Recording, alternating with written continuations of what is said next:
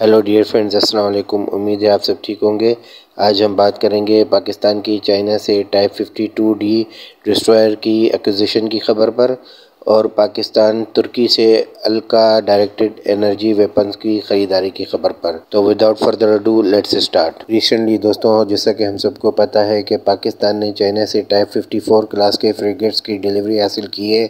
اب پاکستان، چائنا سے type fifty two destroyers کی ڈیل کرنے جا رہا ہے۔ ریسنٹلی دوستوں، ایک خبر نکل کے سامنے آئی ہے کہ پاکستان نیوی کے ایک ڈیلیگیشن چائنا کی وزٹ پر موجود ہے، جس میں type fifty two D class کے نیگوشیشنز پہ بات اسٹارٹ کر دی گئی ہے۔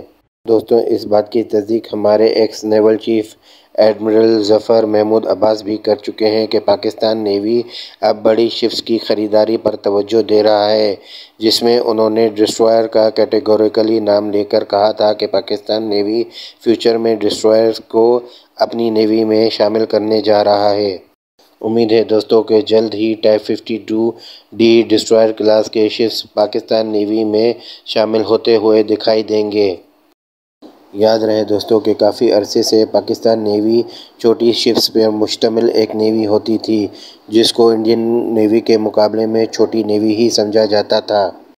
یاد رہے دوستوں کہ یہ type fifty two D class کے ڈسٹرائر ہمارے ٹائپ ففٹی فور کلاس کے فریگیٹ سے دگنی فائر پاور لے کے جانے کی صلاحیت رکھتے ہیں۔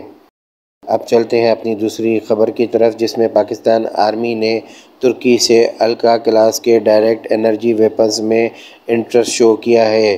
یہ الکا کلاس کے ڈائریکٹڈ انرجی ویپنز، جس کو ترکی کی راکٹسان کمپنی بناتی ہے، یہ ویپنز تیس کلومیٹر کی رینج میں یو اے وی اور کروز میزائلز کو بنا کسی میزائل فائر کیے ہوئے اپنی ڈائریکٹڈ انرجی لیزر سے گرانے کی صلاحیت رکھتے ہیں۔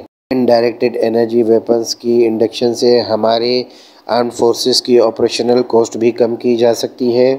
یاد رہے دوستوں کہ اس کلاس کے ڈائریکٹڈ انرجی ویپنز کو بہت ہی لیتل سمجھا جاتا ہے۔ اس الکا کلاس کے ڈائریکٹڈ انرجی ویپنز نے اپنے سارے ٹرائلز میں کامیابی سے اپنے ٹارگیٹس کو نشانہ بنایا۔ امید ہے دوستوں آپ کو آج کی ویڈیو پسند آئی ہوگی۔ اپنی دعاؤں میں یاد رکھیے گا۔ سبسکرائب اور لائک کرنا نہ بھولیے گا۔ اللہ حافظ پاکستان پائندہ باد۔